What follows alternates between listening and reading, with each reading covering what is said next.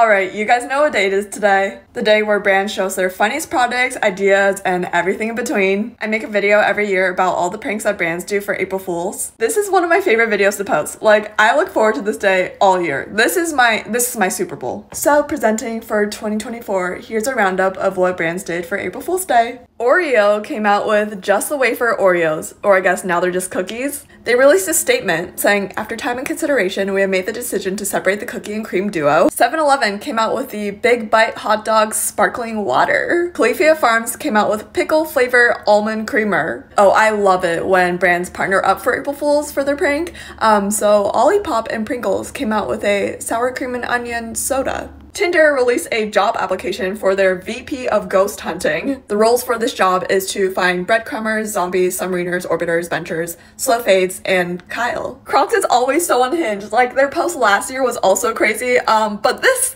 this is a little much. So I believe these are toe Jibbitz. Domino's announced that they're taking pineapple off the menu. As someone who actually likes pineapple on pizza, um, not a fan of this one. I can always count on Duolingo to pull through for April Fools, and they went all out. They made a full production, like this whole video, to announce Duolingo on ice. The performances include Spanish or Vanish, Le Duo et La Dua, and French or the Trench. Skittles made a fruity scent deodorant. Takis made ice cream. Quizlet came out with Rizlet 101, how to rizz up your campus pookie. and they even made merch with it. Another company that was dedicated enough to make merch was Dunkin', which announced a name change to just Donuts, hence the sweatshirts that say Donuts. Supergoop, the sunscreen company, came out with a pup screen, so a sunscreen for your dogs. Stanley, yes, the Stanley tumbler company, came out with the Fuzz Flow Quencher. Jolie, the showerhead company, also partnered up with Stanley to make this travel size shower head. It says that it's TSA friendly and you can easily install it into your hotel and comes in tons of different colors. I cannot with this one. Honey Pot Co., the feminine care product company, made these. It says that it's clinically tested and shown to taste like the real thing.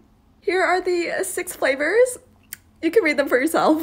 Honey Pot Co, you really went there. Also, Tower 28 made a SOS slip or slide product. Their new um, lubricant Krispy Kreme posted this. You can bring in any item and they will glaze it. Jif Peanut Butter made a peanut butter butter. Here's a visual. Driscoll's Raspberries made candy tasting raspberries, which I am so down for this. Like we already have cotton candy grapes, so why not this? Bloom Greens with their ice cream. Um, this should also be a thing. Baskin Robbins with their lip products. Pink Bubble Candy, Choco Chip Glaze, and Strawberry Girl Glam. Calbee came out with Shrimp Chips Ice Cream. Sour Patch Kids is no longer Sour Patch Kids. They rebranded to Sour Patch Adults. Exhibit B, Exhibit C. Dole made a banana sleeping bag. Sol de Janeiro came out with a, a spider salve with notes of cobweb dust, spider musk, moth musk, Sweetgreen with their spicy cashew mints and miso ginger toothpaste. Owala with their denim water bottle. Aquaphor with their new app called Find My Aquaphor that will help you locate where your Aquaphor products are. UGG made their popular Tasman shoes into a bed. Okay, but honestly, this looks really comfy. Another one I would not be mad about, Hot Pockets and Nestle Toll House made a chocolate chip cookie dough Hot Pocket wrapped in a brown butter crust with 9 grams of protein. Speaking of protein, Quest, like the protein bar company, made some protein seasonings. If they made this, I feel like this would pop off. Zappos made their Soulful Scents candles, which are candles that smell like feet with scents like Hoka Honey, Choco Latte Crocs, Asics Aloe, and Bold Brooks Bouquet. The Empire State Building and Rainforest Cafe partnered for their prank. Again, another one that's low-key a great idea. Wheat Thins made Wheat Thicks. We've got a lightly salted flavor and a salted caramel flavor.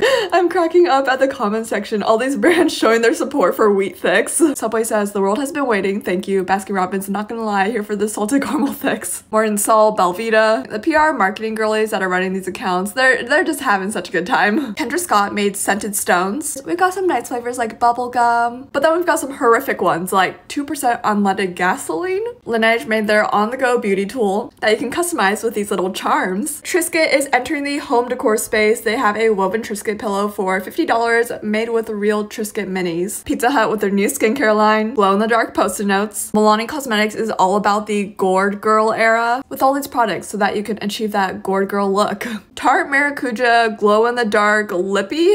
Vera Bradley came out with a dumpster paisley print. Got a dumpster fire, a raccoon, garbage bags. Real Techniques came out with edible mini Miracle Puffs. Caption says, For years we've helped you look like a snack, now we're making them. Drumstick teasing us with this nugget cereal. Again, I think this should be a real thing. Reese's Puffs with a strawberry flavor, Dr. Pepper with a toothpaste, EOS lip balm with an Alfredo and cheddar cheese flavor, Little Words Project like the Friendship Bracelet Company, made a corporate pack edition so all the corporate baddies can be rocking their bracelets. Got designs that say action item, bottom line, quick win, touch base. Okay, this one was a little bit of a mean prank because low-key I would love for this to happen. The Seattle travel page said Coachella is moving to Washington starting in 2025. If you don't know, I'm from Seattle, hence that's why I would love for this to happen. Another city-specific one, I have to shout this one out because I still live in LA. A Los Angeles page posted this saying a proposed transplant tax law will charge people who relocate to LA County. Crumbl Cookies made a color changing cookie based on your mood, kind of like a mood ring. Prime made a fried chicken flavored drink, and this brand, Kevin's Natural Foods, made a variety of skincare and body products. The cilantro lime toothpaste, Korean barbecue deodorant,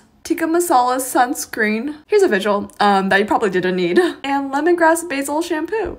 I love it when brands team up together and collab for April Fools and do some sort of joint prank. Fruity Pebbles and Kraft Mac and Cheese teamed up to make a fruity flavored mac and cheese. Sonic teamed up with Moe's to make a queso flavored slushy. Auntie Anne's teamed up with Frontier Airlines to make the pretzel plane. You'll be served with fresh pretzels, which um, I'm fine if they make this a real thing. The scent of warm pretzels from the air vents. Looks like they've got some competition because JetBlue is partnering up with Original Nathan Franks to have hot dogs served on the plane. Another plane one, Béis Luggage, is partnering up with Lonely Ghost to make Lonely Airlines. Shake Shack and this brand, I think it's pronounced Rainston Ross or Rhineston Ross? Here's the name. They're making a 20 karat solid gold forever fry fork. So like a fork exclusively for fries, which I'm not mad about. Like, if I don't want to get my fingers dirty, I can just use that. But I don't even want to see the price on this one. Tic Tac and Del Taco are making these spicy Tic Tacs with different levels of heat, starting with original, medium, and hot. This one is so funny. FabFitFun and Fun Boy, like the pool inflatables company, is making a inflatable swimsuit. Here are the bottoms that inflate. This way, if you don't know how to swim, it's okay, you're all set.